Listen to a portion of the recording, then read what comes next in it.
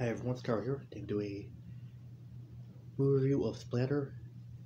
It's a 2009 movie and it only has 29, 29 minute runtime. And it's about a washed up rocker returned from dead after committing suicide and he has he decides to torment the five people who betrayed him in life. Uh definitely a very cheesy horror movie.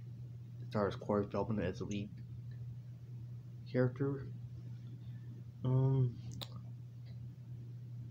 it was kind of it was very entertaining though. I give it a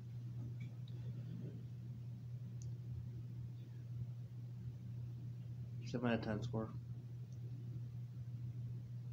So appreciate you watching. Have a good one. Bye now.